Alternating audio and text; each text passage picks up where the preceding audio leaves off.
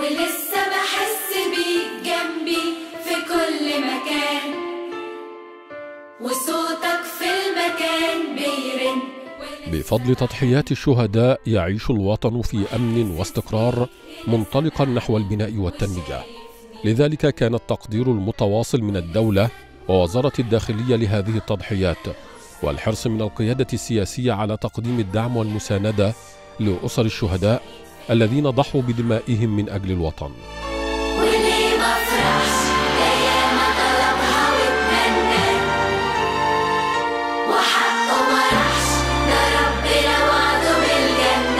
وزارة الداخلية دايما بت بتوفر لي رحلات وكده علشان أكون مبسوطة أكتر وحاسة إن بابايا قاعد معايا. نشكر جدا سيادة الرئيس عبد الفتاح السيسي على الرحلة اللي عاملها لنا الجميلة دي للمتحف المصري.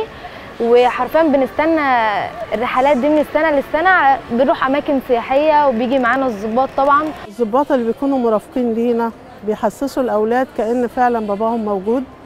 بالنسبة للأب والأم بيحسوا كأن أولادهم لسه موجودين ما فقدوهمش. ببقى مبسوطة جدا. والظابط أو الظابطة من دول ماسكة ابني أو بنتي وماشيين مع بعض مرفقين بيهم. وبيفسحوهم ويصوروا معاهم ويلعبوا معاهم. أنا ببقى مبسوطة جدا فعلا. الرئيس عبد الفتاح السيسي هو اللي مخلينا آه، جوزي ما ماتش وعيالي مش يتم وأنا مش أرملة. وحقه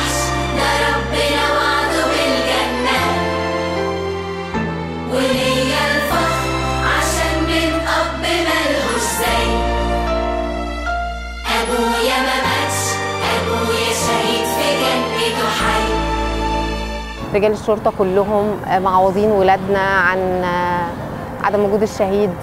اهتمامهم ورعايتهم في مدارسهم وفي دراستهم وفي, كل الحاجات الترفيهية في كل المناسبات هم معانا. اليوم النهارده جميل جدا وولادي والأسر الشهداء كلها مبسوطين. أحب أشكر وزارة الداخلية آه، على تعبها معانا بصراحة ويعني اهتمامها بأسر الشهداء. وبحب أشكر قوي قوي قوي الرئيس لأن هو بصراحة كتر ألف خيره مش سايبنا ومهتم بينا قوي. أنا بحب الرئيس عبد الفتاح السيسي اللي هو بيخرجنا في أمكنة زي دي بيودينا في أمكنة زي دي عمرنا ما رحناها. وحشني يا بابا ووحشني الكلام وياك.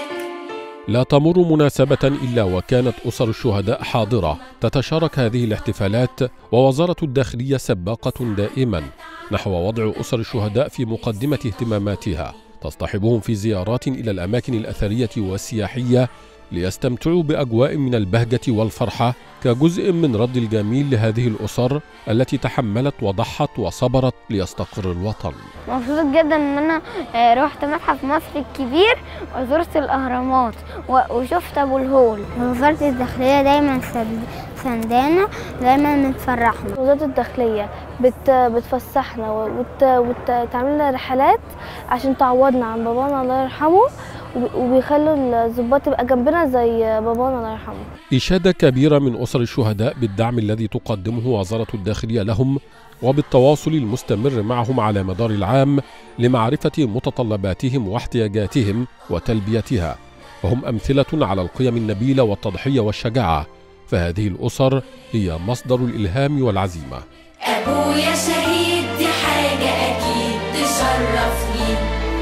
جمعونا كل سنة وبيحسسونا إن إحنا أسرة واحدة معاهم وإننا لما بنحتاج أي حاجة بنلجأ إليهم. شاكرين أفضلكم جميعا على الاهتمام بنا وبأسر الشهداء. وتحرص وزارة الداخلية دائما على اصطحاب أسر الشهداء إلى أندية الشرطة وإقامة الاحتفالات معهم بهدف تكريمهم وهو ما يعكس تقدير الوزارة لتضحيات الشهداء والتزامها الدائم بدعم أسرهم.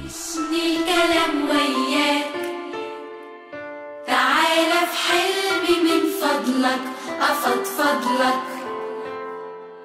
ساعات بتعب وببقى نفسي تحضني.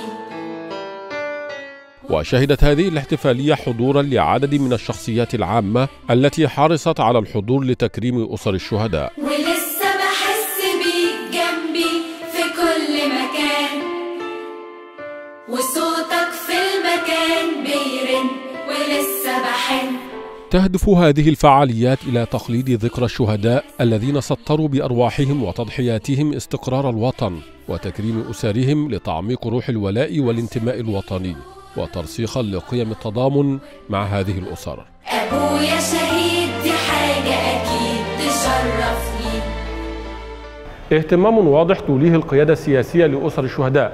في هذا الإطار فإن وزارة الداخلية تقدم الدعم والمساندة لأسر شهداء الشرطة في كل المجالات وفي كافة المناسبات في تأكيد واضح على أهمية التضحيات التي قدمها آباءهم في سبيل استقرار وأمن الوطن. عبد الله بركات التلفزيون المصري.